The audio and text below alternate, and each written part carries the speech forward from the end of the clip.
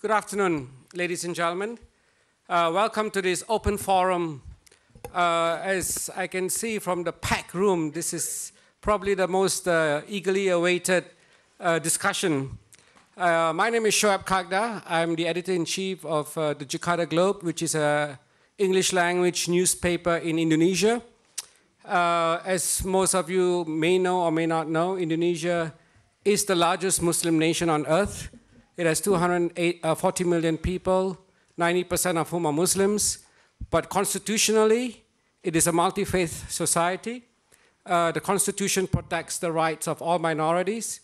But as in a democracy, there are many uh, factors uh, at play. And I think if you've been following the news recently, there have been um, the rise of what I would call the uh, radical right Muslim faction within society they have a space, they are, they are able to voice uh, their beliefs and their, their feelings, but the majority of Indonesians, I would say, are mostly tolerant Muslims. And I think that leads into today's discussion. Uh, uh, as uh, the topic is, is religion outdated in the 21st century? And maybe I can start by um, relating a story that was told to me over dinner the other day uh, by a very noted author, Mr. Paulo Coelho. And the story goes like this since we are in Switzerland, I'll use the Swiss uh, background. There's a small village uh, in the heart of the country. And in this village, the population is divided 50 50. 50 believes in God, and 50 does not believe in God. And every day they are fighting. So one day the mayor says, okay, let's put this to rest. I'm going to invite the whole village on a Sunday to a discussion and we'll discuss all day long if it takes to see whether. An, ah, welcome, welcome. We're just getting started. Uh, we'll discuss whether or not there's uh, God, and at the end of the day, after the discussion, we'll come to hopefully we'll come to a conclusion. So to, to help the discussion, the mayor invited a very prominent uh, priest to uh, to uh, debate on behalf of God, and he invited a scientist uh, to debate on behalf of the atheist. And so they debated all day, and to and fro, to and fro. At the end of the day, they still hadn't come to a conclusion.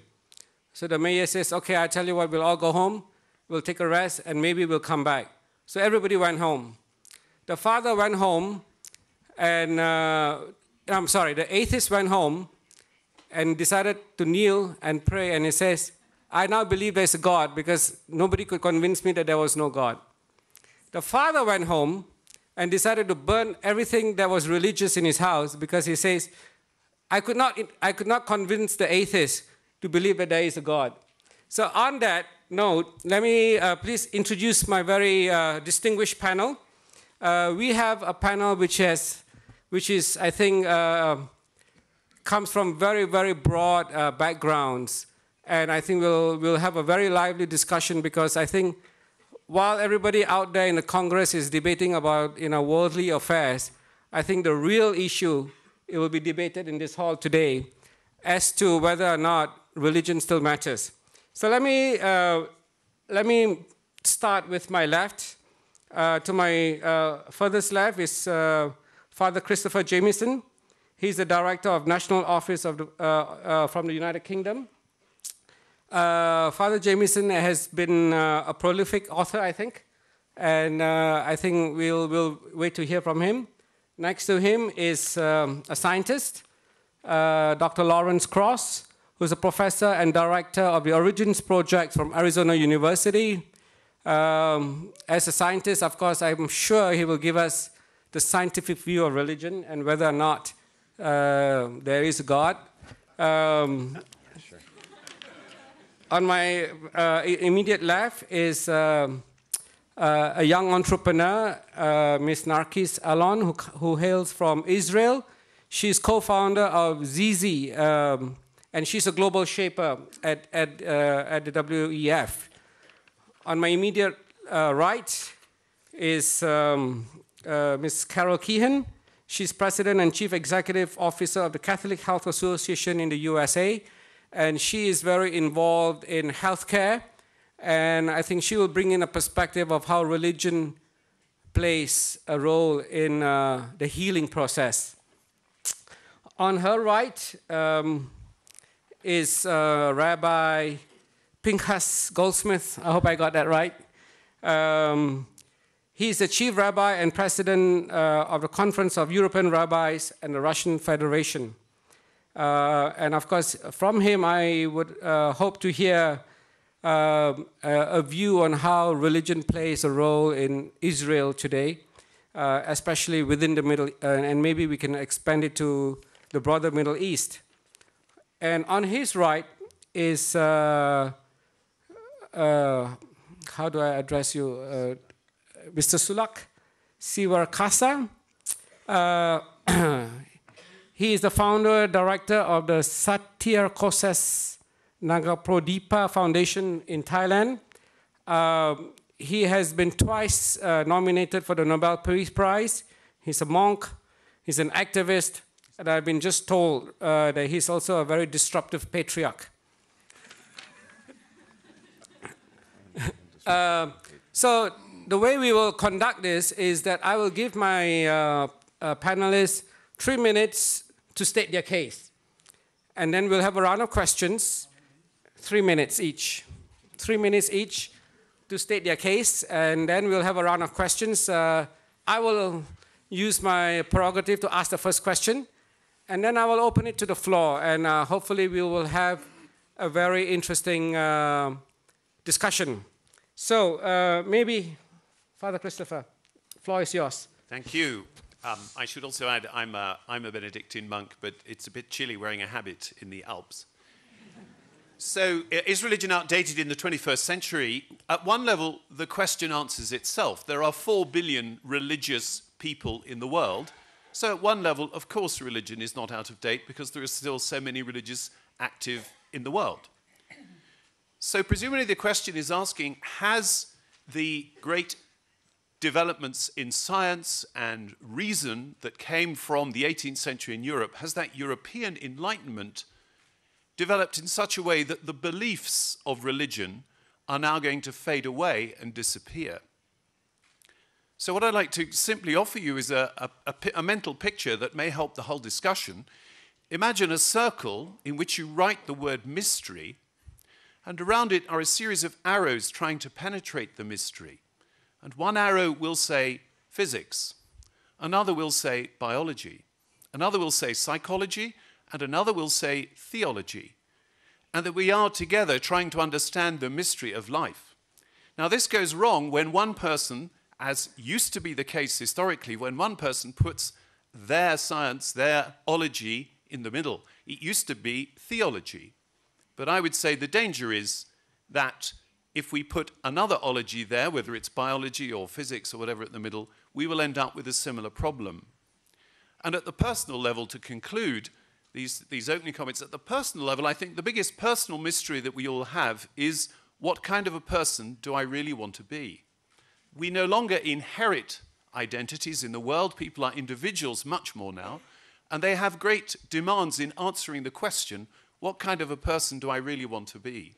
And I believe that alongside science and psychology, the great religious traditions of the world have a lot of wisdom to offer people as each of us seeks to answer the question what kind of a person do I really want to be? Thank you.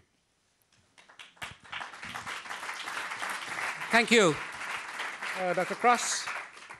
Okay, well, um, of course, religion is outdated in the 21st century.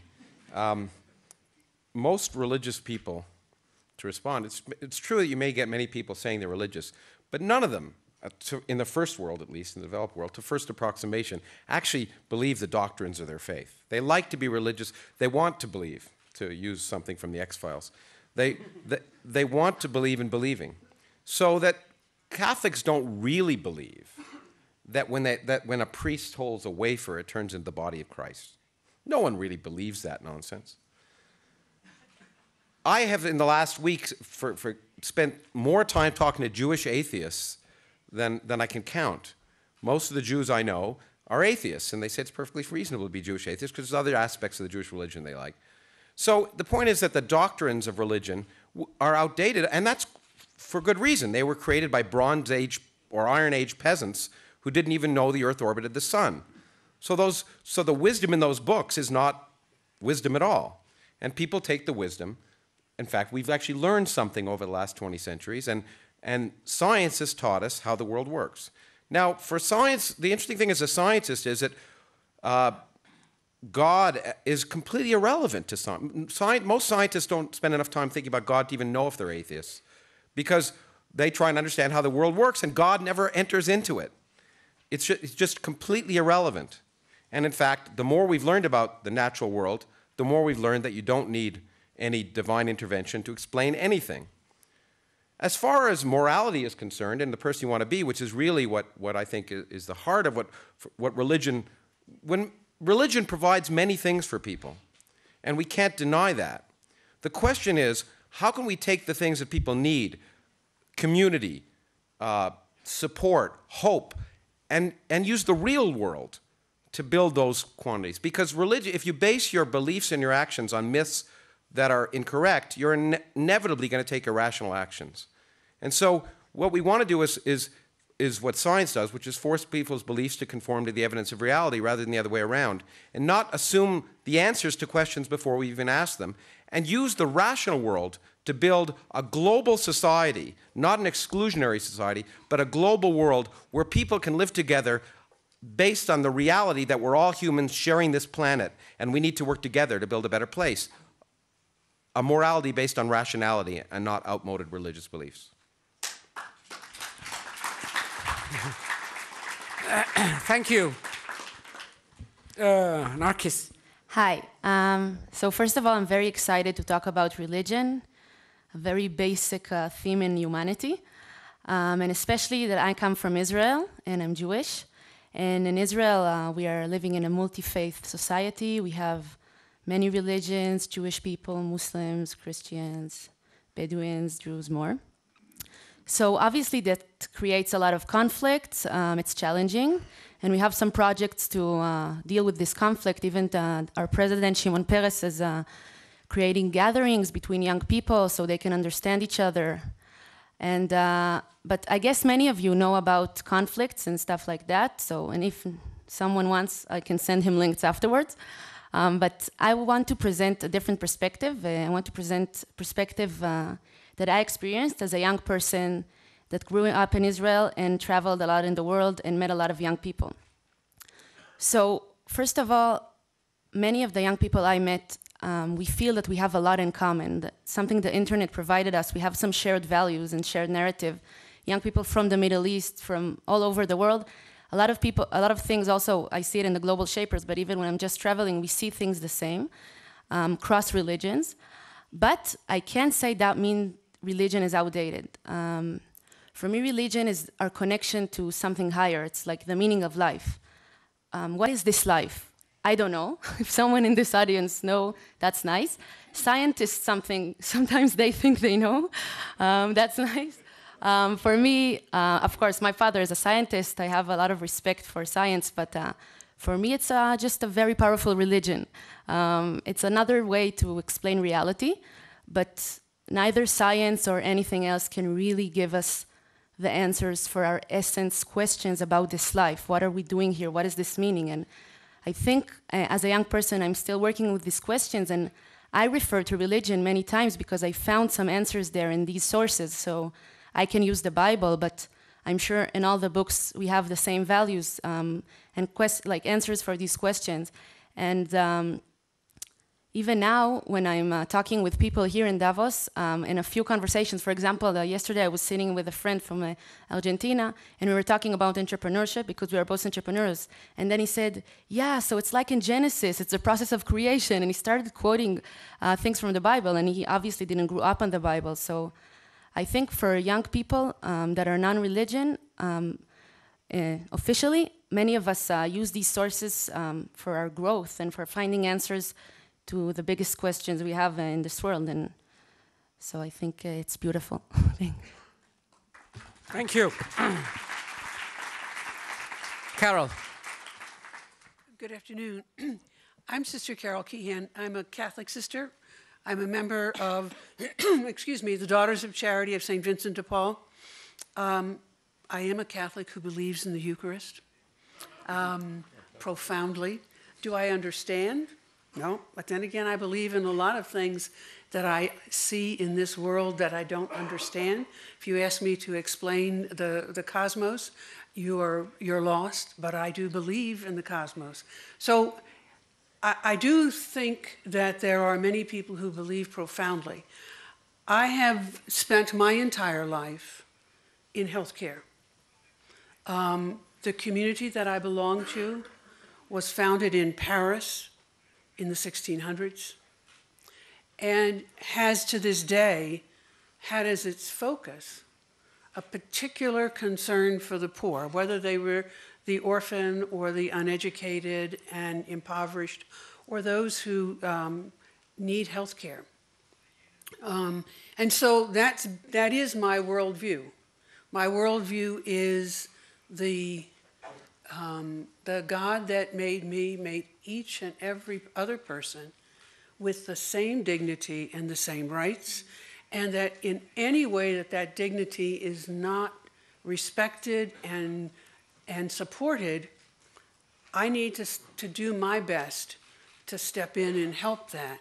And, and to do that because of my profound belief in, in the Gospels, where Jesus Christ says, Whatever you do to the least, and it's not just the poorest tiny baby, it's the irritating person, it's the person that overuses services, it's the ungrateful person. Whatever you do to the least, you do to me. When you believe that, it is compelling. If you don't believe it, you need to find another sort of life philosophy. I think there's a lot to be said about thinking about the kind of person that you want to be. But I also believe that there's a great deal of courage given and a, and a great deal of inspiration given when you believe that there is a person out there that you are called to be, that, that there is an Almighty God that calls you to be something, someone, and it will be the very best you can be. Um, and that's, someone only does that when they love you. And it, it creates a profound sense of comfort. I realize that that can be ridiculed, just as my belief in the Eucharist can be, my belief in, in, in the Gospels. But it is, it is a profound conviction of mine, and I see what it means in the lives of young people, middle aged people, and old people who look at others in that same view. Look at others as people of equal dignity. It puts profound responsibilities on your behavior. So I'll stop there. Thank you very much.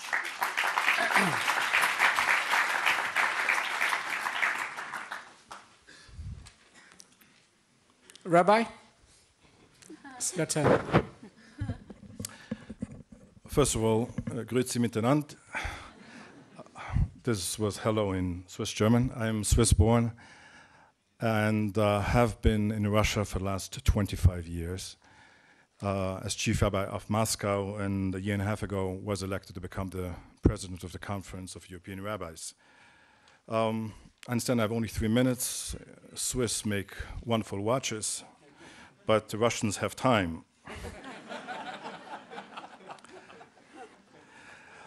Um, talking about uh, religion, organized religion, I always uh, remember when I invited a fellow believer Jew to come to a synagogue, he says, I'm against organized religion.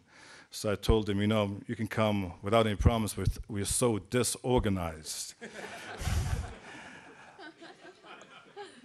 um, I believe that religion is more relevant than ever. I think every time one of you enters an airport or wants to go into an airplane has to take off his shoes, it reminds you that religion is relevant.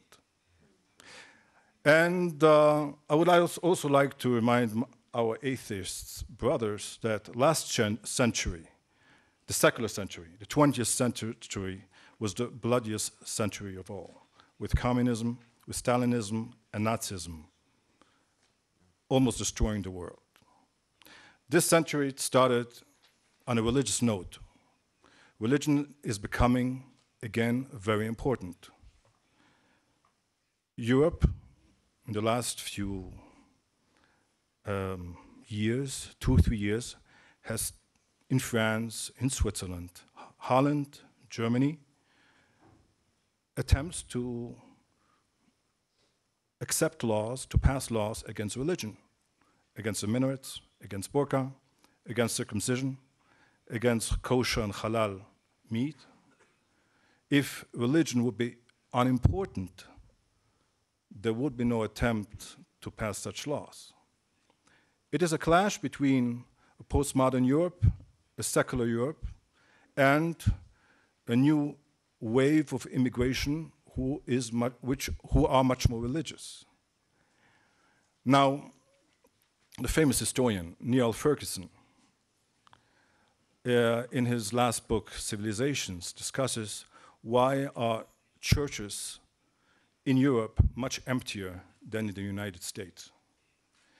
And uh, his theory, I don't know if he's right or not, maybe you can tell me, is that in the United States, you have a lot of competition. Here in Europe, in every country almost, you have a state religion. And it is his uh, uh, theory that what made Europe great during the last 500 years was the civilization of competition.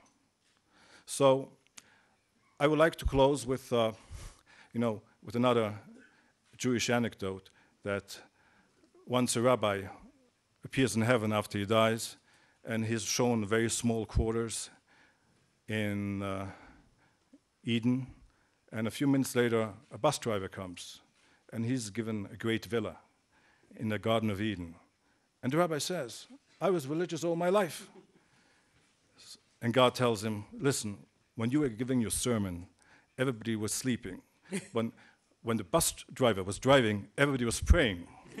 so, uh, what I would like to tell to my friend uh, Lawrence the scientist, he can say whatever he wants, but he's the bus driver.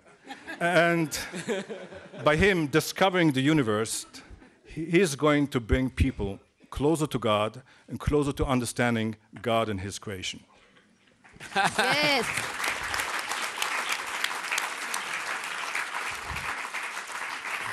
Thank you very much. I think we definitely have the uh, makings of a great discussion. Uh, Father Sulak, your turn. I cannot speak generally for all religions, whether they are outdated in the 21st century.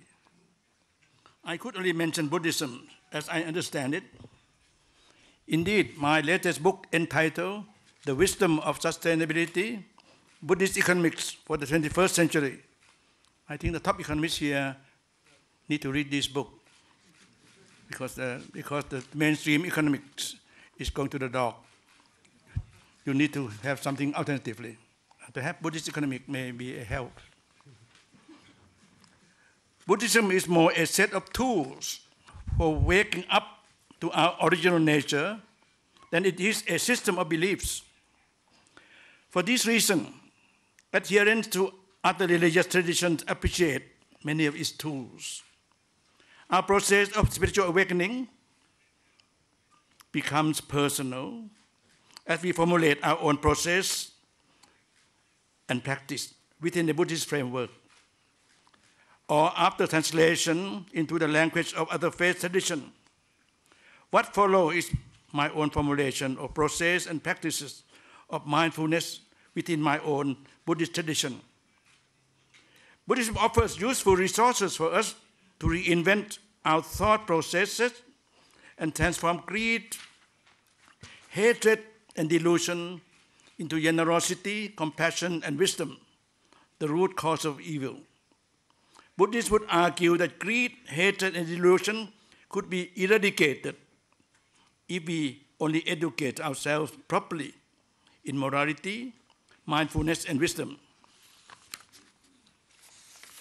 Indeed, we need to reinterpret the fundamental teaching of the Buddha appropriate for the modern world too.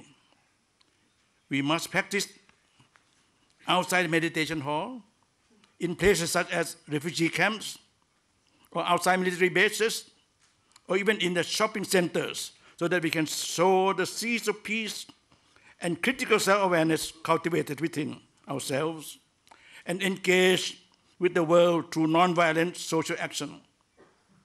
However much we have achieved with more proper understanding of the world and ourselves, we should always take good care of our hearts in order to overcome greed, hate, and delusion in the wider society. I feel that Buddhist leaders in general, and indeed religious leaders in general, should raise their voices more often in speaking the truth to power, which is often corrupted, so that we could use our words of wisdom and compassion to transform society in meaningful ways. Speaking truth to power need not always be confrontational. We should also cultivate dialogue with the powers that be. I myself used to belong to the World Faith and Dialogue, which met regularly when the president of the World Bank at that time and other leading personality in mainstream economic development. Through dialogues, we have learned to respect one another and have tried to transform our views to be more holistic and really listening to voices of the poor. And lastly, if Buddhists want to be appropriate for the present and the future, they must understand structural violence. Because social structure indeed is full of violence, helping the rich, and they're not happy either, and oppress the poor, and, and, and entirely destroy the environment. Thank you.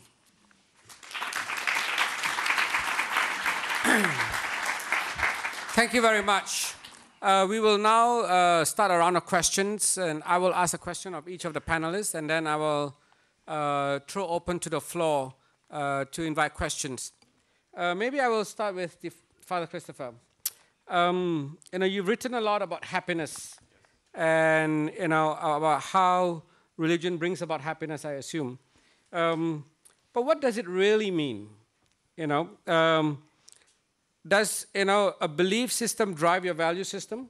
You asked me what, what happiness means. Well, uh, what uh, happiness means? Because yes. everybody, everybody nowadays says, "Well, I just want everybody to be happy." You know, I, I used to be head teacher of a school, and the parents would all say, "Oh, Father, I just want my children to be happy."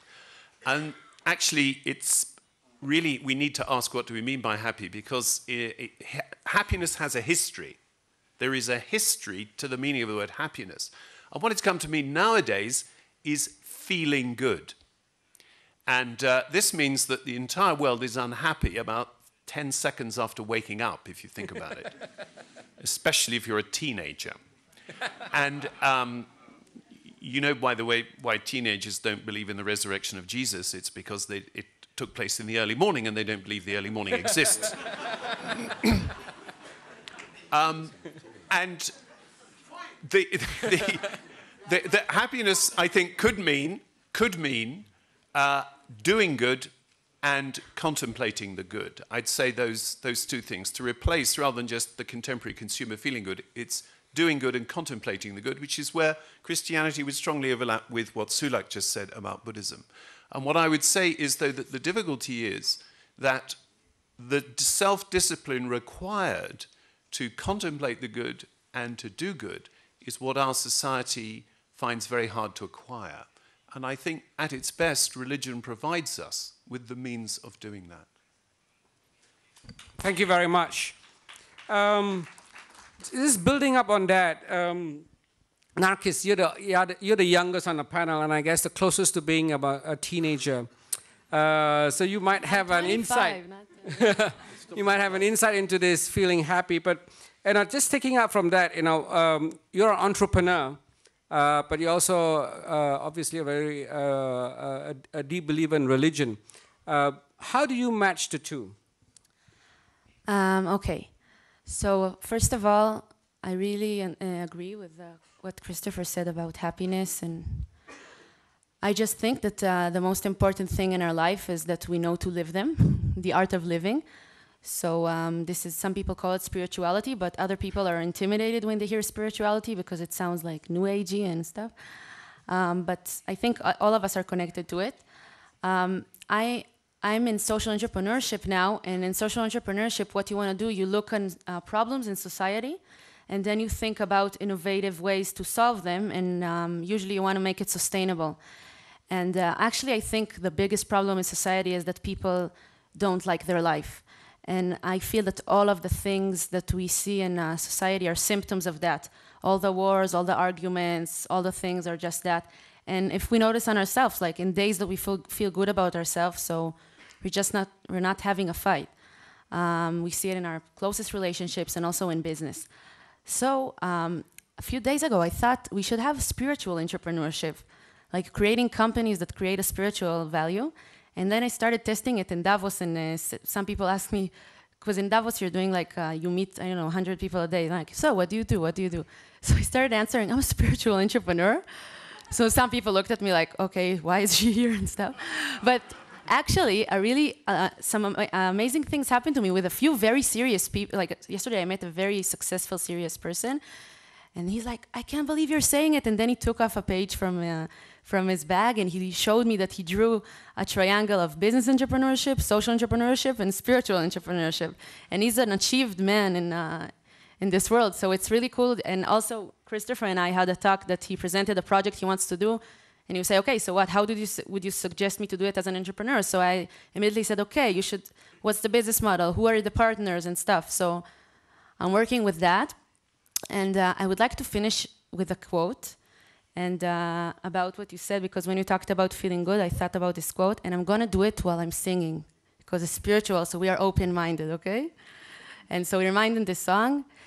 It's a new life, it's a new day, it's a new dawn for me, and I'm feeling good. Thank you. Wow. I hope we're all feeling better this morning, uh, having That's, that's the purpose. Uh, I think uh, uh, keeping to, to this theme about feeling good, I'm going to move to Carol now. Um, I think probably you have one of the toughest jobs um, anyone can have is to heal people. Uh, you, especially people who may be suffering, I think, uh, critical illnesses. Um, how important, in your experience, you know, um, how important do you think religion is to the healing process? I have a I have a bias on that naturally, um, and so I would say to you that I think that it is you don't have to be religious at all to be involved in the healing process, um, and so I, I I won't say that it is essential um, because you can give a vaccine without having any belief in God or any belief in a higher power or any thought of being religious. But I, I would say to you that the care of the sick, while many people will step back and say, "Oh, you know, I just couldn't do it, it's so hard, just as you just heard,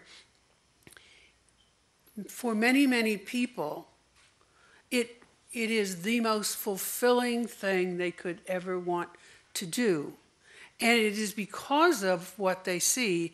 I can remember a nurse saying to me when I was running a hospital, I came to this hospital for the money. I have stayed at this hospital for the mission.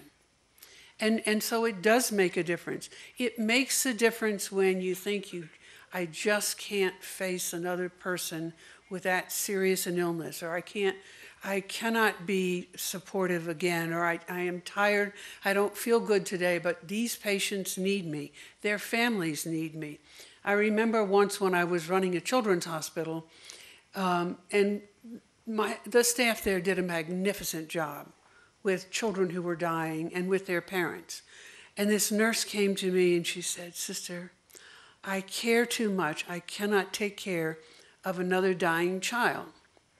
And I said, Okay, Liz, I'll get somebody to take care of him that doesn't care at all. No, no, no, don't ever do that. And, you know, it, and I said, That is why you are so valuable to this child and, it, and his parents.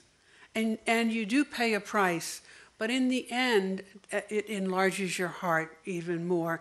And so, quite, quite honestly, I think when you have a sense of the dignity and worth of each person and the importance of protecting that, you find even in your toughest days when you don't feel good when you've had a fight at home when you know your back is hurting and you're worried about your children and what they're doing in school even in those days when you have a view of the sick as people of great dignity and and and your role as someone who who uh, has the great honor to be able to assist them it makes all the difference in the world than if this is another drug addict or this is another oh, another cancer or you know same old same old.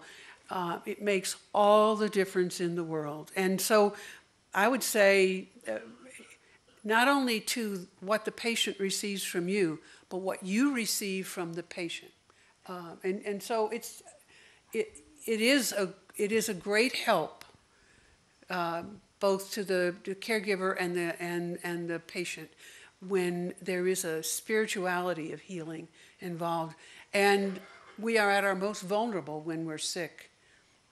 So anything that helps is really important. Thank you. so it, it really flows two ways.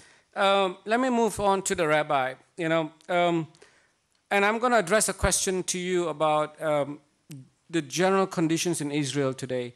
Uh, Israel is a multi-faith society, uh, but at the same time, it, it, try, it, it identifies itself as a Jewish nation. How does religion play uh, in the daily lives of Israelis? There's the famous uh, saying that you know, the, uh, two Jews uh, and three opinions and four parties. they say in the Jewish world, in the rabbinical world, that uh, wearing or not wearing uh, yarmulke in Israel, or which color or which size, is not a religious statement, it is a political statement, which was unfortunately true for many years. Um, looking back at the elections of a week ago, um, when of the 120 members of the parliament, of which I believe uh, 105 are of the Jewish faith. Um, over 40 are today officially practicing religious Jews, meaning they're not going to answer a phone on Shabbat, they're never going to eat not kosher food, and they're never going to sit in a car, on a train, on a plane during the Jewish Sabbath or festivals. And what is most interesting about this thing is Let's go back 65 years. 1948, when the State of Israel is created by a socialist uh, left wing coalition, David Ben Gurion, in the new Israeli parliament in Tel Aviv, there's a discussion. The Declaration of Independence should we include the name of God or should we exclude the name of God? And two opinions, no consensus. So there was a Jewish compromise. We're going to write in the, in the Declaration of Independence the rock of Israel. The atheists are going to explain this that this is a piece of stone, important stone, and the religious people and the believing people are going to explain that this is God. My great uncle, one also Swiss born, living Switzerland in 1933, fearful that Hitler is going to take German Switzerland as part of Greater Germany, and also one of the signatories of the Declaration of Independence, was carrying the discussion. So, going 65 years later, what is very interesting is that it used to be that, that religion was politics and was totally politicized. There were the ultra religious parties, the religious parties, the anti clerical parties, and the socialist parties. What is happening today is that, uh, for example, the party which was the most successful one uh, during these last elections, Yesh Atid, There is a Future, which is uh, started by a very famous journalist and telepersonality, Yair Lapid, has within his 19 uh, seats, he got in the Knesset three religious people. And uh, so has also the government, uh, Netanyahu's party, and even the left-wing party of Tzipi Livni has also the head, the, previous head of uh, human resources of the Israeli Defense Force, who is also a religious person on her slot. So what is happening there is something very interesting, that religion is getting depoliticized. And, um, every, and uh, the secular becoming less secular, but which something, something very interesting is happening now. You can think that the country is becoming more radical orthodox, but just the opposite is happening. Why? Because, for example, in four months from now, you're going to have the elections for the chief rabbinate. Now, till now, there was um, um, the Israeli political uh, system was okay, this does, it's not a question for the secular majority, that is a question for the religious minority. You decide among yourself who you want as a chief rabbi. So the general public was not interested in that question. Today, it's different.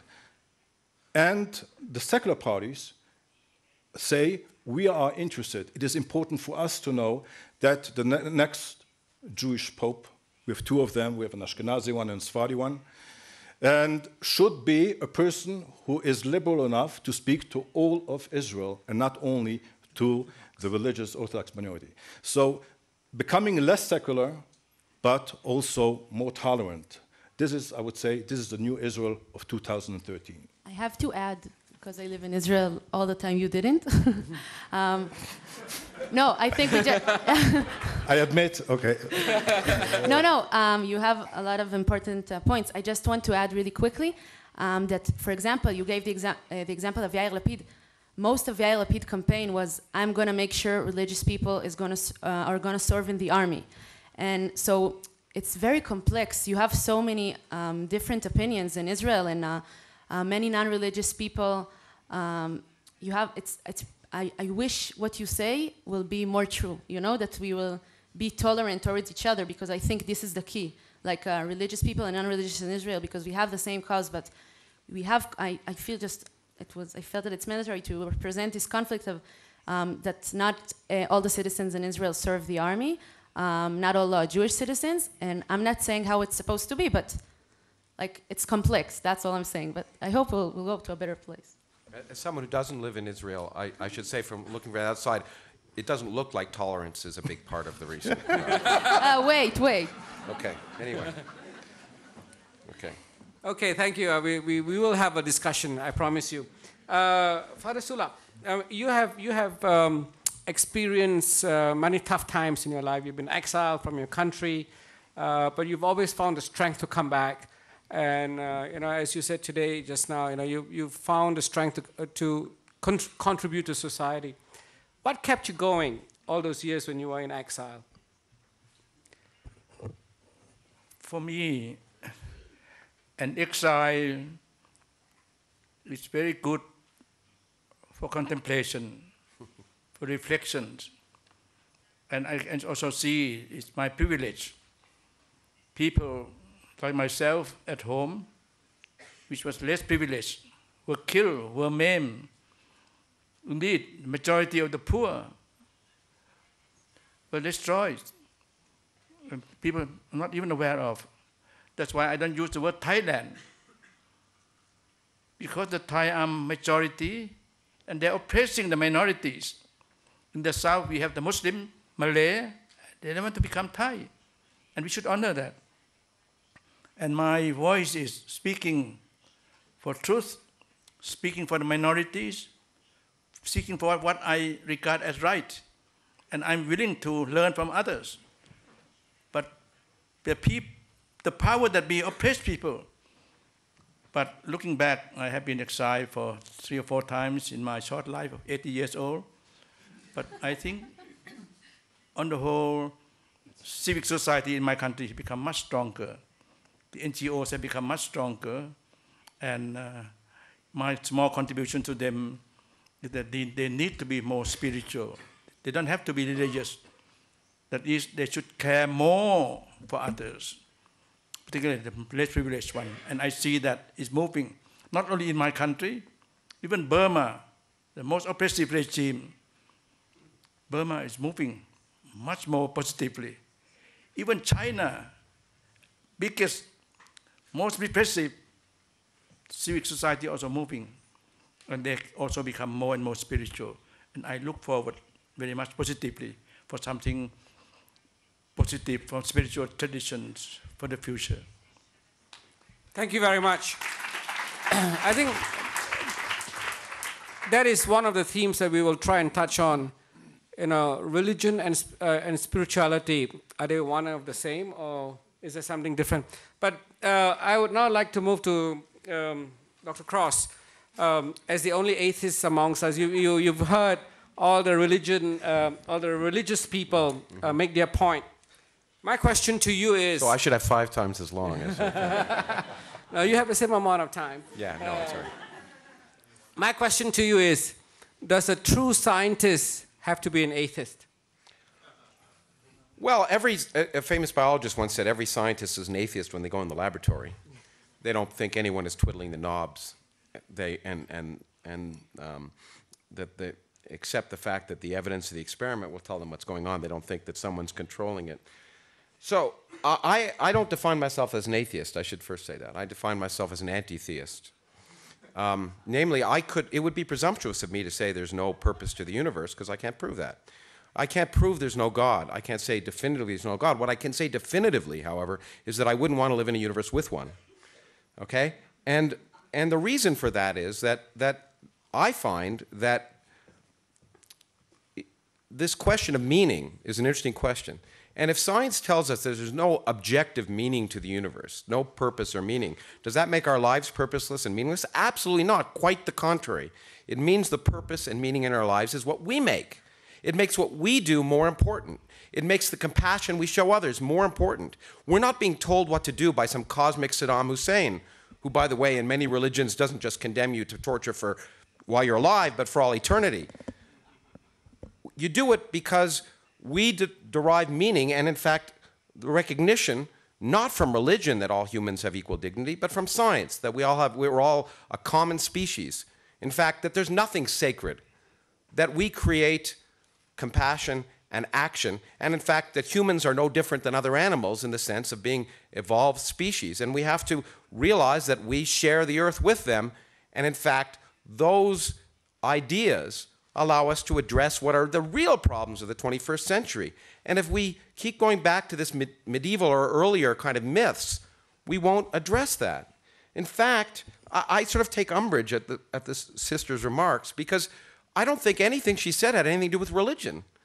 She said understanding dignity, treating people with compassion, and then what people of religion do is they, they usurp that. They say, if you're not religious, you can't have any of that. But all of those ideas come from a rational view of who we are and how we should uh, relate to others. The best example of tolerance and across cultures that I can think of is nearby here in Geneva at the Large Hadron Collider. There is a machine that's built by people from a hundred different countries, speaking a dozen different languages with many different religions and cultures, building these devices that have to work to a millionth of a meter.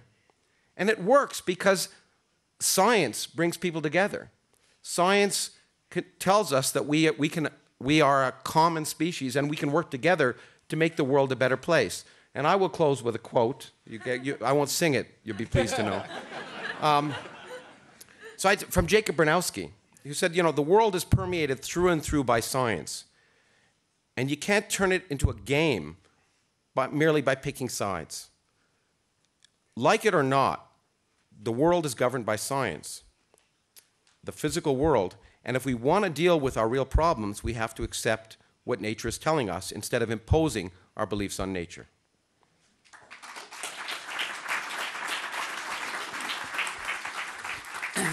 Thank you. I'm sure you know uh, we have enough uh, topics and enough uh, uh, d- discussion points to start uh, a very lively discussion. So now I will throw uh, throw the questions to the floor. If there are any questions, uh, I will take. What I'll do is I'll take three questions uh, first, and then we'll get them answered, and then we'll move on uh, to the other questions. Now, please keep your questions brief and to the point. and also um, who you are addressing the question to. Have a question mark at the end. And I have a question mark at the end. Yes, sir. In the front seat. And then I'll come to you. Yeah, it's coming. up.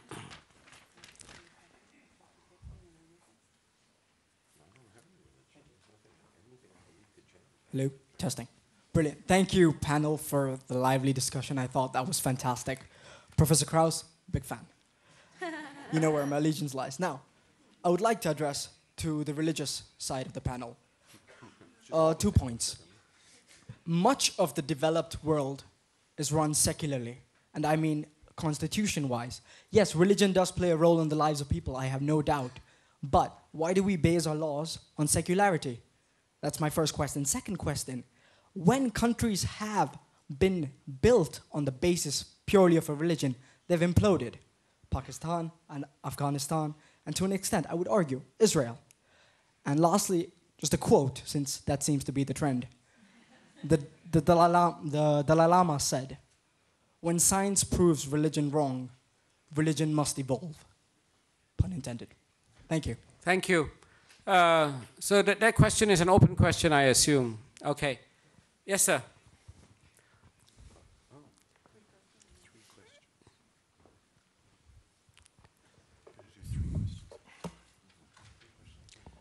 Ich habe die Frage, ob Sie nicht ähm, viel am Thema vorbeireden, der eigentlich in der, im Thema versteckt ist.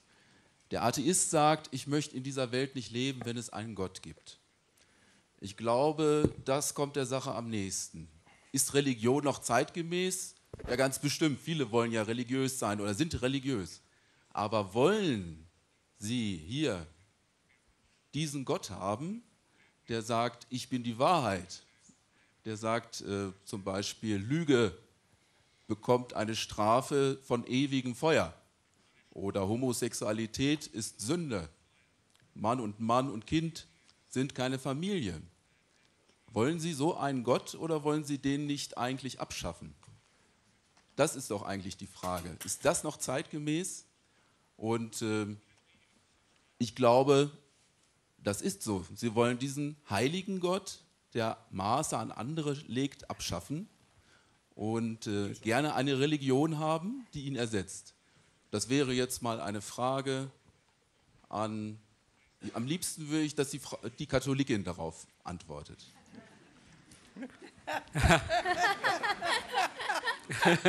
Thank you.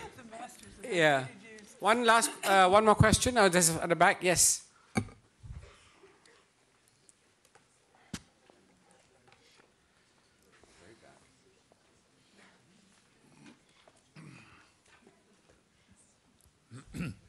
Hallo.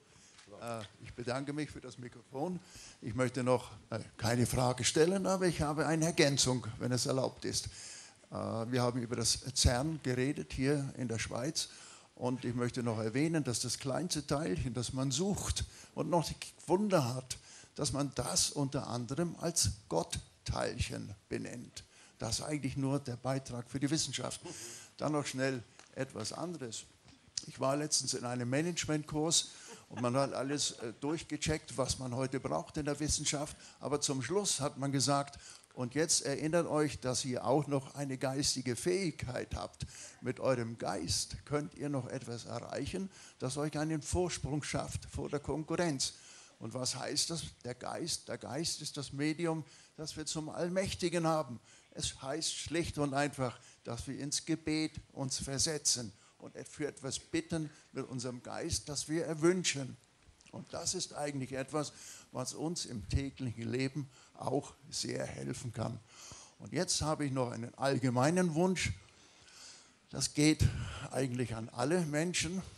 Wenn wir uns bewusst sind, was wir in unserer Bibel lesen können als Christen, wenn wir nicht nur einfach glauben, dass der Sündenfall aus der Schlange und dem Apfel oder was eine Banane besteht, sondern dass wir wissen, dass es um den Baum des Lebens gegangen ist und den Baum der Erkenntnis, dann wissen wir auch, was wirklich in der Bibel steht.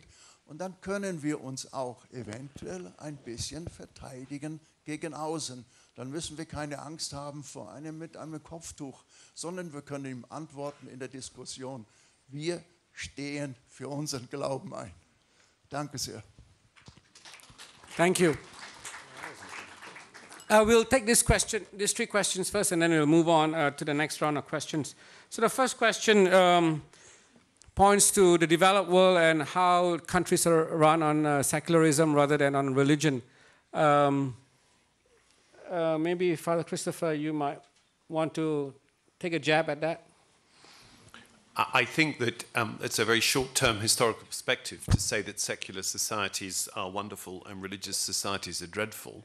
Um, I, I, think that that we're living through a great development in human history, which is the rise of secularity in, in culture. This is a new development, and it is highly successful. That cannot be denied. I think what's happening is that religion is finding a new place within secular society And I would simply um, a quote from Pope Benedict, who addresses this question the whole time, it's one of his great themes, is that faith and reason need to be in dialogue. And I think it's that dialogue which will produce a secular culture which has a, a public square in which all opinions can be expressed publicly, not just privately. And I think that, that, that for me is where it's going. And I think that where there is a fundamentalist religion still in control of the state, I agree with you. I think it's a very dangerous place. Can I, can I jump in and disagree? Sure. Yeah, um, a little bit. I think if I think if you take the long term, you have a, a worse view of societies that have been run by religion in the long term of human history, from the Crusades and back before that. I think that you found that human freedom eventually arose with the, with the enlightenment of, of, of knowledge, and in fact, open questioning, which is the hallmark of science. And in fact, if you want to call it a dialogue of faith and reason, the hallmark of science is that nothing is above question, including God. And the minute we stop, we make certain things sacred and not subject to question, we, we demean ourselves and we stop thinking. I also think we're kind of, I have to say, I think we're missing, uh, we're, we're deviating from the point of this discussion. The question, we're, the question isn't, isn't is religion important? Because that's an obvious thing. Religion is obviously important. So are nuclear weapons. The, the, the question is, is religion outmoded and are nuclear weapons outmoded? And will the world be a better place without them? And the answer, both those, is yes. Uh, okay, religion is very important, nuclear weapons are very important, but neither of them in the modern world serve a productive purpose. And so I, I think that I, I, def, I, I accept and don't need to debate the question of whether religion is an important part of, of the way the world is run. The question is, should it be, uh, uh, should it continue to be, and is it decreasing? And in fact, what also hasn't been pointed out is that in most places, in fact, happily, monotonically in the, in the first world, um, the people identifying themselves as, religious is decreasing year by year. The first year in England, by the way, as you know from a recent poll, more than a, more than half the population finally acknowledged that they, they didn't have any religious affiliation. In the United States, even, it's been decreasing in spite of the efficiency of competition. So, in any case, I wanted to just throw those things in. Thank you. uh, uh, one second. Um, yeah, okay, I'll, I'll give you an opportunity. Carol, oh, you want to? I'll do the second one. He, he wants to talk on this subject. Okay, go ahead. I think we must not overstate the achievement of secular society. It gives you certain elements of equality, of freedom, but if you stick to secularity, the spiritual element is missing. And particularly, religion at its worst or its base also something you don't understand. And in the secular world now, you embrace a new demonic religion of consumerism, promoting greed, promoting hatred, promoting delusion, even mainstream education promoting ignorance, selfishness. I think those in the secular world need to learn to be more spiritual. One need not be religious, but if you take religions for the 21st century, you must in- reinterpret religion appropriately. I cannot speak for the Catholics, but from a Buddhist, you have to use two kind of languages. One is the worldly language. God created the world six days. It's worldly language. But spiritual language, the world was created mysteriously. And we should understand those people who believe in that traditions. Otherwise, you think that they are decadent, they are old-fashioned. I think every faith have its spiritual language. And if you respect those spiritual language, you could have dialogue. And I think dialogue is also good for the scientists. If the scientists are so arrogant that they know all the answer, that will not be helpful for them. Okay. Scientists is very helpful materially. But if scientists become more humble, they can use scientific ap- approach to understand the mystery, mystery of life beyond materialism. Thank okay, you. I got to come back. um, I, I, I, I, I find it remarkable. So the idea is that science doesn't have any spirituality, which of course is wrong. If you want to, if you want to get awe and want, the reason I write books, the reason I talk about science, look at a Hubble Space Telescope picture of the 400 billion galaxies in our universe. Look out and see galaxies 10 billion light years away that may once have had civilizations around them that are living each of them as 100 billion stars. Look at what we learn about the universe. Look at how atoms work. Those things produce awe and wonder and mystery. The reason I'm a scientist is I love mysteries. And so to pretend that science is just dry and has no spirituality and therefore is some, somehow less significant than faith is just to misunderstand science and, and to demean it. And so the point, the, the, the, the, the, the discussion we can have is how wonderful and amazing the universe is. And I think we would share in that discussion.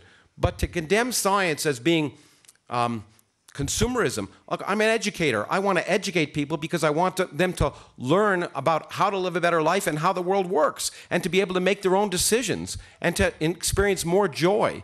Because the more you understand yourselves and the more you understand nature, I think the more enriching life is. Thank you. Yeah.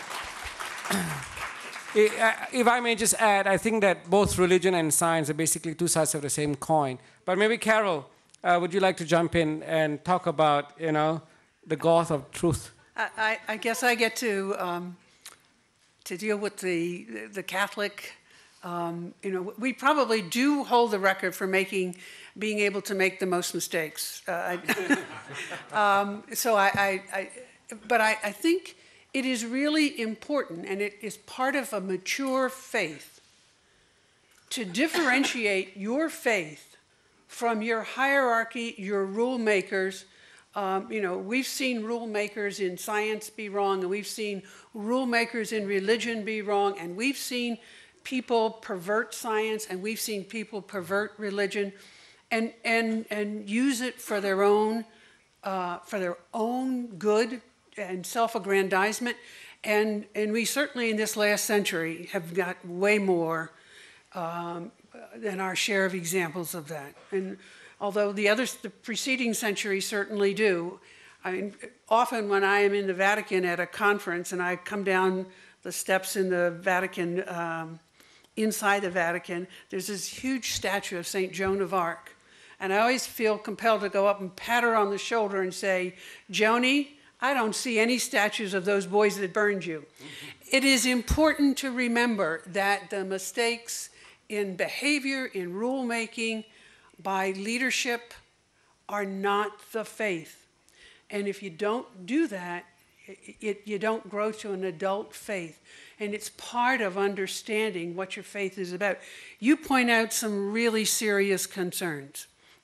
And it is so clear in the Gospels that, that God didn't ask us to judge others. There's a wonderful French play where at the end of the world, we're doing a lot of this end of the world stuff. At the end of the world, you know, they've got the ones on the right hand and the left hand side, God, and they're, you know, the right hand ones are ready to get into paradise, and the guy, the folks on the left hand are about to be marched down to, to hell. And they're, you know, the people on the right are really pretty, eh, feeling pretty important about themselves.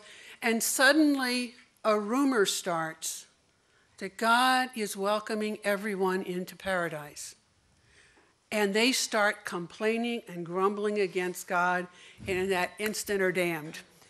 Because the essence of being like God is to be loving to everyone, loving to all creation. I would just say to my friend Professor Krauss, he, I appreciate that he takes umbrage at my um, statements. He is not the first person to do so. If he would Google me, he would find himself in company with a number of bishops. And I'm sure it'll be probably the first and last time he's been in company with them. Thank you. Well, I was at I was at the Vatican, and I was in and with a company of a lot of bishops. But but let me. I, I'm sorry. I'm going to keep responding because I think I'm the only respondent to these statements. That um, I, I think that the, you hit a key point, and I agree with you completely that you can't condemn. Uh, a whole population because of, of, of some individual. Okay, uh, but the difference is, and is that there are no rule makers in science. There are no authorities. That's the hallmark of science. There's no such thing as a scientific authority. There are scientific experts. But the lowliest student can, can in fact, disprove any. There's no chief scientist. There may be a chief rabbi, there may be a pope, but there's no chief scientist. We say, oh, what's, what's the answer? How should we behave?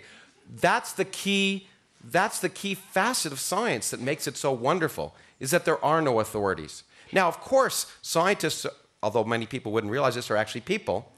And therefore, um, they have all the same foibles as anyone else, and they're scientists who, are, who abuse their science as, they, as well as every other aspect of their life. But the key aspect is there are no rule makers. Um, I want to add to the second question. So I'm referring to what's written in the books. You spoke about us uh, religious leaders, but also in some of the books we can see um, some quotes that can be interpreted in violent ways. And I felt that the third question uh, answered the second questions, that uh, he gave the metaphor of the tree of knowledge. And uh, I really look on all of um, the religious books, it's symbolism. And we as readers need to be intelligent and to interpret them in our ways in our journey. Um, and we can look at and we can see an example in Israel, which is a tolerant country, as opposed to what uh, Professor Krauss said. So we have like some projects and examples of uh, people that are working together, although they are from uh, different religions, um, because they look on their books as symbolism and no, they don't really think that they're supposed not to talk to each other. It depends on the, pe- the person. And the last thing I want to say about science in the university, we studied that there when was the scientific revolution, because um, once upon a time you could never say anything else that contradicts religion. And then there was uh, Copernicus, great guy, and he was uh, very brave. And then they had an agreement between the church and scientists, which they say that the scientists, um, what they can do is they can uh, describe phenomena that happen in the universe, but so they can explain how, but they, can they can't explain why. And the why is a mystery. That's not, not something that neither of us knows. And if someone in this room knows, like I said before, I would like to meet with him after.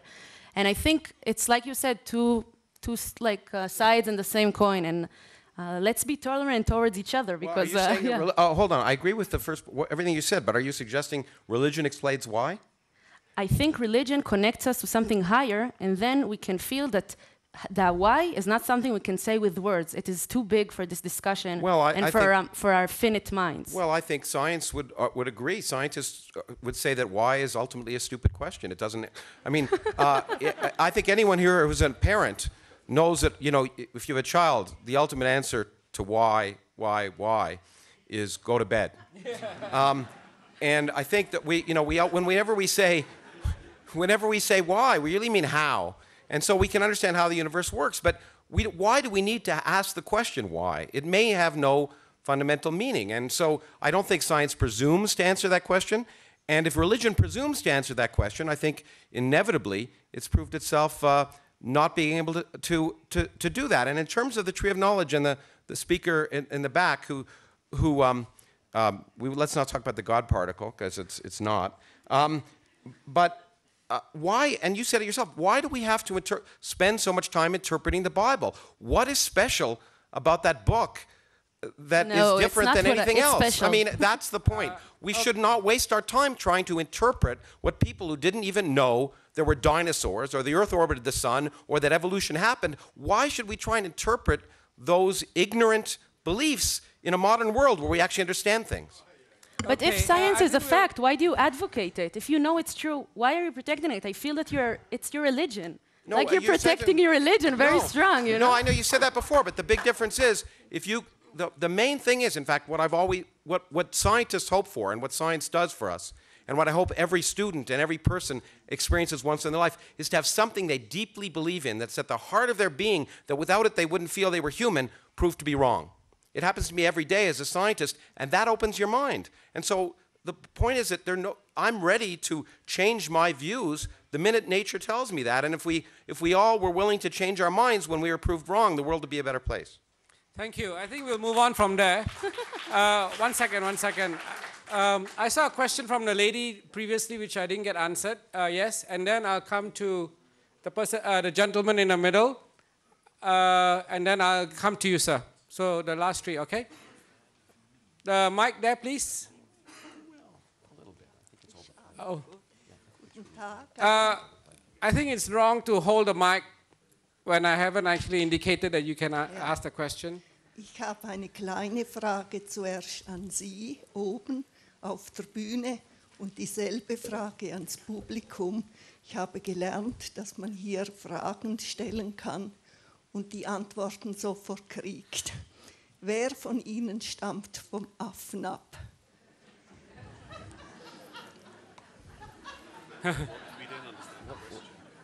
What's, We don't understand the question. what was the question? What was the question? Wer von Ihnen stammt vom Affen ab? I didn't get. Das ist eine sehr konkrete Frage, die mit der Religion zu tun hat. That's easy to answer. Stammen Sie vom Affen ab oder sind Sie aus Gott geboren?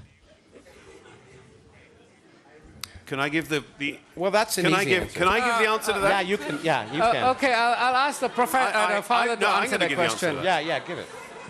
This question was first asked in Oxford, England, in the 19th century, by an Anglican bishop of Huxley. And Hux- Huxley quite rightly said, I would rather be descended from an ape than descended from someone who was afraid to ask that question. But there is a simpler answer, and the answer is we're descended from a common ancestor. We're not, we're not descended from modern apes. We, we, are, we have a common ancestor. And it's, an, it's not, a, as I said, it's like Bronowski's thing. It's not a question of choosing to believe. It's like choosing to believe if I walk out the 10th floor of a window that I can No, no, walk. no. The, The we la- are descended from a common ancestor. There's no doubt about it. The lady, the and lady. Just stop. okay. Yeah, okay. I'll come to you, sir. I said you're the third person. Go ahead.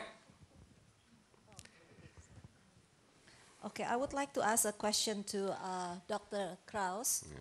Uh, do you believe that God creates human being? I think that's a basic question. And I will follow up with my next question after you answer, if you don't mind. Should I wait to answer, or do you want to? Um, Uh, Well- Does it depend on his answer, the question? Well, y- The yeah, second question? of. His answer. well, I, I, I, you. We already- yeah. I mean, the point is that that belief is. I don't believe in anything. Um, I, I, I asked the question. You know, how did how did we arise here? And in fact, I, I, I've what I what's remarkable is that I've discovered that uh, from studying science that in fact uh, uh, humans evolved from earlier species of animals and that life originated as chemistry turned into biology. And then in fact the whole universe can arise from nothing. I just wrote a book about it without any divine intervention. So all i can say is i don't see any evidence of god. I don't see any evidence that there's a teapot orbiting jupiter. I can't prove that there isn't but I, since i don't see any evidence for god in any of my studies of science the question is irrelevant Okay, well, um, if you don't believe that God created a human being, then how do you explain what you believe is not a myth? Because that is I also not scientifically. We are absolutely right. al- If yeah, tomorrow, as I've often said, I can't disprove God, I would be presumptuous me. You can't prove it in the negative. I can't disprove the existence of purpose in the universe. If tonight the stars realigned and said in Aramaic or Hebrew or you pick your language, I am here, you know what? I'd say, hey, there's something to that. right, But in the absence of that, all I can say is my I don't need that hypothesis in order to understand the universe. And so I'll just ignore it for the moment. That's all. I can't say if there's evidence for purpose, I would be the first person to be excited about it because what scientists want to do every day is not have a have a have a uni- unified. You want to go into work every day and prove your colleagues wrong because that's how you become famous. But I think in purpose in life is not to become famous. No, no, but I mean that's no, what I'm kidding. I'm kidding. Yeah. I'm just saying each person should find his own evidence to the presence of God in something bigger. And when I hear a person says he doesn't find evidence, so it's pretty sad. And I think you should find evidence, not for science, but for your life, because it's happy. Yeah, I didn't say I didn't find evidence. I said science doesn't provide evidence, and I think you will agree with that. Rabbi. Okay. In the methods. Um, I've been listening very carefully. um, uh, number one, I want to say that God does not need uh, my defense, our defense. He is strong enough without us. um, and number two, um, I've been uh, fortunate enough during the last 25 years, when I still came to the Soviet Union, an atheist state with the atheist state ideology. And I must tell you something. I hardly found any atheists there. I hardly found any person, to find a person who says, I actually don't believe in God. I hardly found a person like that. There were a lot of people who uh, uh, had questions how he looked like, how many, what's his name, how many are there? Yes, but a person who does not believe in a higher being, I have hardly met a person like that.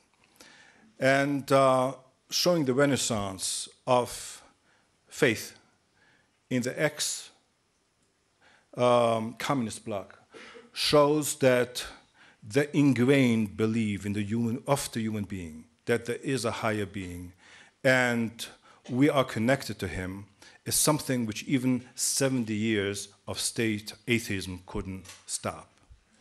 That's a very good point, and I think that I I think I'm sorry, I have to keep calm because I'm the only voice. Yeah, I, I, I, no, I, yeah, I, I, but, but no, no, but I think One second. I believe that you should speak because you are an endangered minority. Thank you. I think not, but um, but but the key point is, I agree with you completely on the surface of what you said. Namely, I do think there's great evidence. Religion has pervaded all of human society throughout all of human history. There's clearly something ingrained, either in an evolutionary sense or a neuro- neurophysiological sense, in the need to believe in something bigger than ourselves. And we have to, and to deny that is to deny the evidence of reality. That's absolutely true. But just because we all share that doesn't mean it's true. It just means that we have an ingrained need to believe that. We have an so so I think the, the the the recognition that religious belief is universal is really important to understand if you want to understand human beings and if you want to understand how to move to a world where we can address the problems that um, you know, xenophobia is, a, is in, in, ingrained in biological systems, that in and out systems, us versus you. All of these things have a sound evolutionary basis, but if we want to be a, a human society and work together, we have to understand that basis so we can move beyond it. And that's my feeling about religion. Thank you very much. I think we'll move on. Uh, there's a question from the middle, this gentleman, and he has the mic. Thank you. Thank you very much. Um, I have a question to all the panelists. First, I want to thank you, Mr. Krauss, because he seems to be one of the, well, I don't want to say the apostles of God, but he is slightly wrong in one little point. Devil's advocate, I prefer. He said, exactly. Okay. No, the real advocate, because he said there is no ruler in science, and I think he missed one word. There is no human ruler in science. So. Um, Klingon, maybe, but I'm not. My question is where does knowledge, according to you, come from, and where does the advancement in knowledge come from? Thank you. Can I start? Sure. Uh, we'll take one more. We'll Okay. take the two questions at the back, and then we'll continue. Uh, this gentleman first, the one who's uh, okay, that one, and then the one in uh, uh, the sweater. Yeah, hi. I'm struck by the fact that uh, all the defenders of religion on this panel defend it uh, largely because of the benefits that accrue. Uh, if you believe, then X, Y, and Z, or the human need that is manifest, as Professor Krauss has said. And very seldom this afternoon, which has been very interesting, have I heard the word truth. Religion seeks to do two things as far as I've observed. One is to explain the universe, and the other is to bring all kinds of benefit. Um, so my question, I, I will have two questions. briefly. One is equally to both sides of this panel, including the endanger, endangered minority. Do we believe in the convenient lie? If it were not true that there is a God, or similarly, if it could not be proven to be true that there is a God to anybody's reasonable satisfaction, including Rabbi Goldstein and everyone else, but you could show that there's benefit. You know, if people believe there's a God, they go around not killing each other, and respecting their parents, and this, that, and the other. Do we want to have it? And that question, I think, I would pose equally to Professor Krauss. We can't prove there's a God, but that's why you're alive. Someone hasn't killed you because they don't want to be smitten by God. Do you accept that religion is good because it's brought about all this benefit? And the corollary question is is the benefit outmoded? Because I think that's the purpose of today's panel to discuss about the outmoding of religion. So I posit to you my own personal opinion religion brought all kinds of bad stuff, the Crusades and everything, horrible. But it also gave us the Ten Commandments. And people obeyed those Ten Commandments because they feared a God that might well have not existed. And I also think that probably a few people believed in God. They suspected, they feared, they assessed. I don't even know what the word belief means. But that whole compendium helped them do good. Do we no longer need it? In other words, would we today respect the Ten Commandments or their equivalent, all these good things, without the need to believe that God will punish you because rationality is sufficiently ingrained? But I, I really do want an answer from the religious people on this panel to the former. Have you considered that your primary defense is one of utility and not of truth? Okay.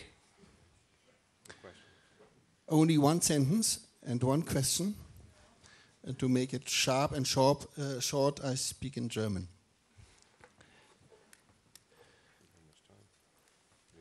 Ein Satz, können Sie sich vielleicht ab heute daran erinnern?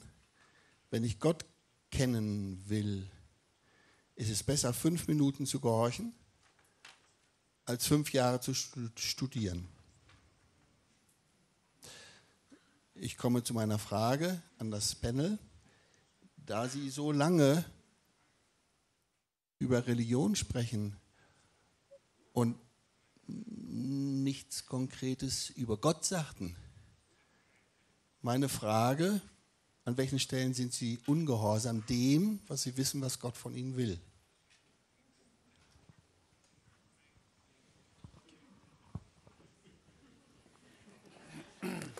Um, Okay, uh, we'll take, since we have five minutes left, we'll take one last question with, from the gentleman, uh, and then we'll answer the questions, yeah? Okay, sir. Where's the mic? Uh, do We- you really we- think we it's not gonna work. We should fit- Yeah, I don't think we're going to have time for another question if you actually Well, wanna the answer- last one, and then we'll round up. We don't have to answer each of them. Yeah. Actually, actually, we are here. What we what we actually wanted to discuss, what is written in the program, is what religion can do good for our society, also in economic terms. And in all monotheistic religions, actually, there is a pre- we should not take any interest on money. And we are an economic forum which is written committed to improving the state of the world. What is this economic forum, do- forum doing? This is really my question. It's exploiting the world. They say we should have more growth. They say we should make money out of money and dis- distribute. Uh, One billion people are, don't have enough to eat, and so on. Actually, these are the most important questions. And I, I know that the religions they have a big answer. They say what this lady, the, the nun, said: we should share more. We should. Uh, stop exploitation, we should not steal, we should not lie, and so on. So these commitments, I think, it's so helpful. But if I see how many weapons uh, got, uh, um, how you say, you know, giving, uh, how you say in English, uh, gesegnet, if you if you see how many wars were supported by the religious organizations, I think the, rel- the then it's a big problem of ethics what we have on this planet. And I see a chance that the religious organizations can s- stop the economic leaders to exploit this planet.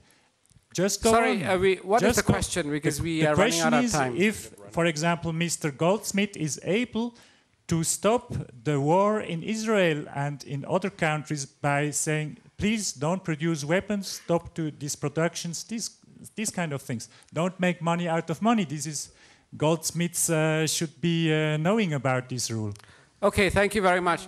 I think what we'll do is since there were so many questions and deep issues that were raised, each of the panelists will be given one minute to sum up. Uh, yes. Uh, I would- well, I'm, I'm going to drive it a little bit since, since there was so much uh, interest raised. So maybe 30 seconds each. I- okay, 30 seconds each to sum up. I'd like to answer the last question. I think if we are religious people committed to spiritual well-being, I think we should speak truth to power. Economic Forum here consists of full of top people in powers, and they are on the wrong path. They feel that the improvement of the world, in fact, is improvement among themselves, destroying the environment, oppressing the poor. I think we should be courageous enough to tell them and ask them to learn to be more humble. Even the scientists also need to be more humble, and they need perhaps to breathe more properly and speak less and think less, and then perhaps we can make some contribution. Thank you. Rabbi. Um, very short.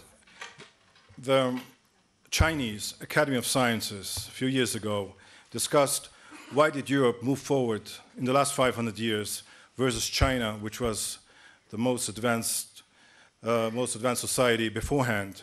And it, they said it was, uh, it was not science, it was not the armies, it was not the weapons, it was the religion. It was the European um, religions which created the support system, which created the successful Europe of the last 500 years, which created science, emancipation, and uh, enlightenment.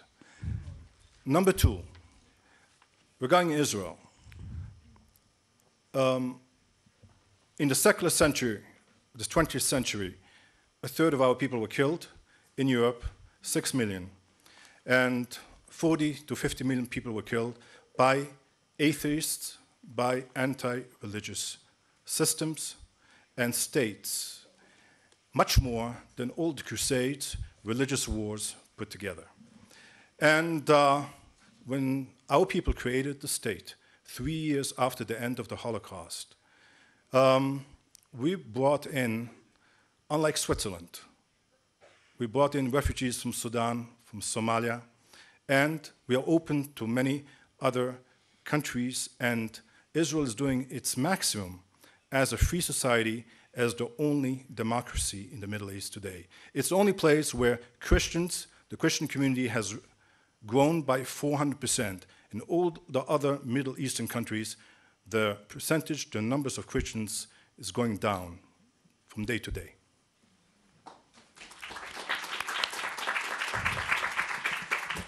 Let me try to speak quickly to your question about why we didn't speak more about God and the, the whole mystery of God and the transcendence of God and a, a personal view um, and perspective.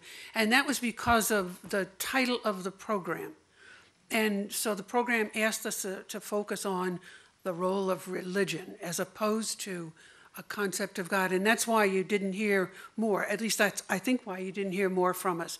Um, I would certainly move then to your next um, thesis uh, about whether, you know, we don't need this concept of a transcendent God.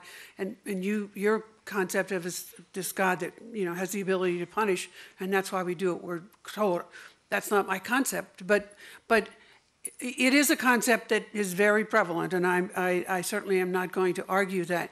And whether we would be, um, we are at, not at a moment of great, great enough maturity that we would follow the tenets of the Ten Commandments and have a safe world, even if we didn't have the Ten Commandments. And it sort of reminds me of um, somebody who was bragging to President Abraham Lincoln that he was a self made man. And uh, Abraham Lincoln didn't think a lot of the, the, product, and he said that was very nice of him to absolve God from the guilt. so I honestly believe in my heart that if, if you, the, the concept of God is having made the, rule, uh, made the world, calls us to become much more than, than what we are now, made the cosmos. And I do think that uh, Professor Krauss is right. It, you can't, you know, you just cannot look at at so much of science and not be in utter awe. I do believe that we need, whether it's in the form of the Ten Commandments or in our hearts, I do believe that we need something to help us not fall into the abusive behaviors we've seen across the centuries. I don't think we're much better than our predecessors. Thank you. We'll go uh, uh, from, the, from the out to the in. So, Father. Um, a quick parable. I think the people who raised the question about knowledge and truth are i- onto the point where I think there's a really, really important discussion. I give you a little parable, my picture of how it works. Um, I believe God gave all of us six boxes of knowledge, but He only ever gave five of us. He only gave us five keys, and He gave our sixth key to another person. well said. Well, uh, let's see. There were, a lot of questions, and they were good questions. I wish I had more time for it. Um, the, the, uh, actually, I agree with the rabbi that, in fact, religion, I do think, is responsible, for, at least in Europe, uh, for the rise of science.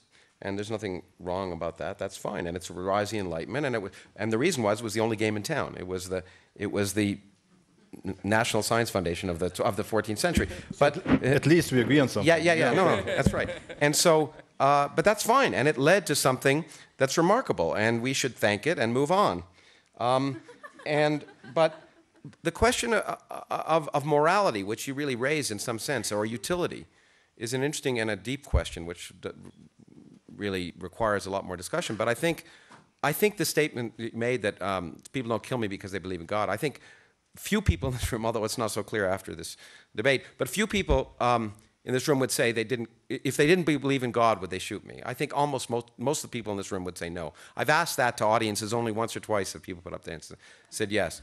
But I, so I think there are other reasons that people have morality. In fact, if we want to seek morality, I happen to personally think that the Bible, certainly the Old Testament, is the where the Ten Commandments were written, is one of the worst places to look.